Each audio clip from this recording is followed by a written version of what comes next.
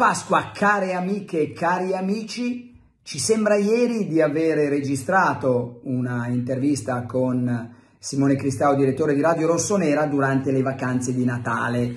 Eh, proprio per le vacanze ci sempre l'intervista, però la vacanza di Natale era una vacanza con davanti il tutto e il nulla e qui invece siamo a poche ore, diciamo qualche giorno dal match contro il Napoli. Cosa ha voluto dire questa battuta di arresto dolorosa contro il l'Empoli? Eh, ha voluto dire che forse non abbiamo capito fino in fondo il reale valore della partita di Napoli, cioè che quella partita che abbiamo valorizzato entrando in campo fin dal primo minuto con un atteggiamento che era ben diverso da Udine, eh, diciamo che non siamo guariti, semplicemente. Questo Milan che ogni tanto ha zoppicato tra ottobre e novembre e poi è caduto. In, in gennaio sembrava essersi rimesso in piedi con le buone vittorie di inizio febbraio, la grande vittoria di Napoli e invece ancora una volta ha zoppicato. Ecco, forse è un peccato proprio per se stessi, è quasi una sorta di autolesionismo più che per l'esterno. E proprio per il Milan stesso essere un po' ricadere nel peccato non è bellissimo. Che cosa significa questa, appunto, questo risultato in vista di Napoli, del match di Napoli in Champions League? Ma credo che, come abbiamo visto anche per la partita d'andata, cioè di ritorno, anzi scusate, di, campionato a Napoli, le, le, le, scuole vanno abbastanza via in fretta, soprattutto quando riparte quella bella musichetta della Champions League, però è ovvio che saremo stati molto più felici di viverci un lunedì di Pasqua, un martedì di avvicinamento, la conferenza stampa, il mercoledì, eccetera, con ben altro sorriso. Ti porterà magari della tensione, ti porterà della, un pizzico di, di certezza in meno rispetto a quel bel 4-0 di Napoli, però ti dico Carlo, io credo che alla fine della Champions League e l'allenamento di rifinitura quando inizi a giocare con la palla della Champions League e con le stelline passa tutto. Eh, il tema, uno dei mille temi, è quello Napoli. 4-0 nella partita di campionato, è un Napoli più aggressivo e concentrato e orgoglioso o, o un Napoli che può eventualmente risentire psicologicamente, soprattutto se il Milan iniziasse bene la partita, può risentire da, di quel risultato pesante? Mm. Ma guarda, io credo che il Napoli ovviamente per me non ha né sottovalutato la gara di campionato né sottovaluterà la prossima né entrerà in maniera più cattiva perché ha preso 4 gol domenica.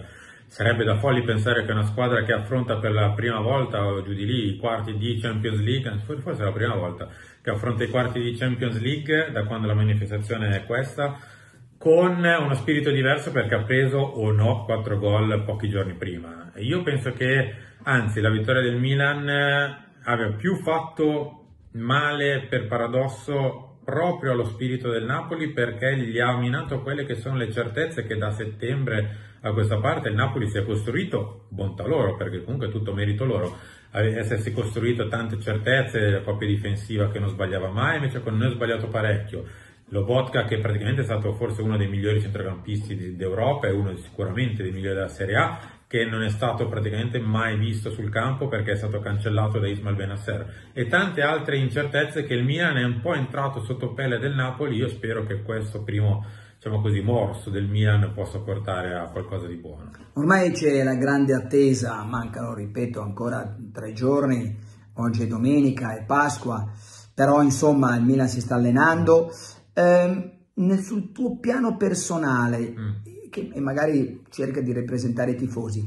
Che significato ha questo quarto di finale non contro le favorite che sono di là e questo vale anche per il Napoli, l'Inter e il Benfica, eh, ben inteso, questa possibilità concreta di arrivare in finale, perché eviti un Real Madrid che mm. qualche giorno fa ha dato 4 gol al Barcellona, eviti il Manchester City che è il Manchester City Eviti anche un Bayern un po' ondivago perché è stato eliminato anche, mi sembra, dal Freiburg in, in Coppa, però aveva dato quattro perottine anche lui al Borussia Dortmund.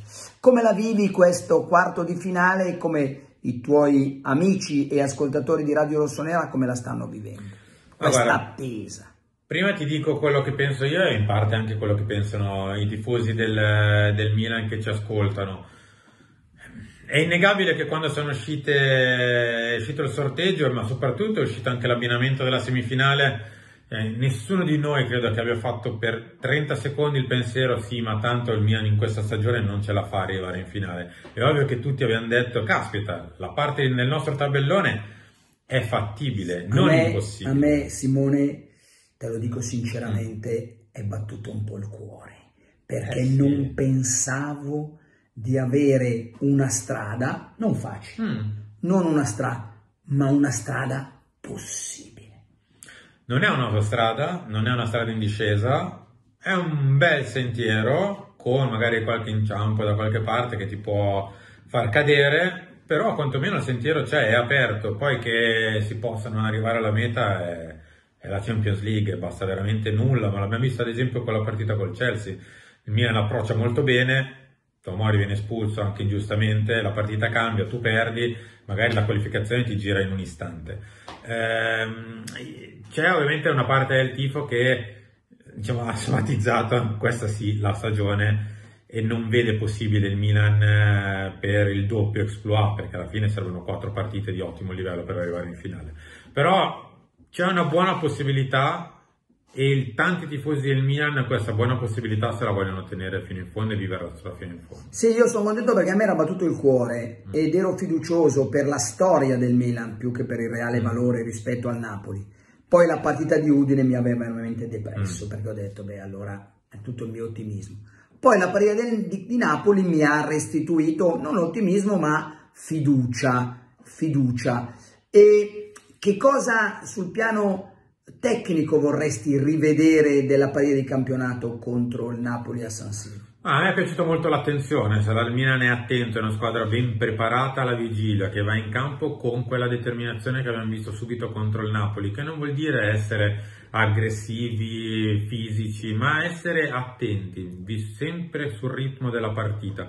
Quello che il Milan ha sempre fatto negli ultimi due anni, in realtà, anzi tre forse eh, cosa che forse abbiamo un pochino perso in realtà negli ultimi due mesi, ma in tutto sommato il Milan ha sempre dimostrato di saper, eh, di saper sfruttare e che invece aveva sempre sfruttato tolte il mese di gennaio e febbraio, soprattutto nei big match. Il Milan difficilmente li toppava a livello di concentrazione e di ritmo, poi poteva perdere, ma quella è un'altra questione. Ecco, a me piacerebbe rivedere il Milan che abbiamo visto quest'anno con la Juve, con l'Inter, con il Napoli, nelle sfide importanti di Champions League, perché anche quest'anno il Milan ha dimostrato che quando attacca la spina, e io spero che a questo punto la spina sia stata incollata alla presa, il Milan può fare davvero il Milan, come si dice.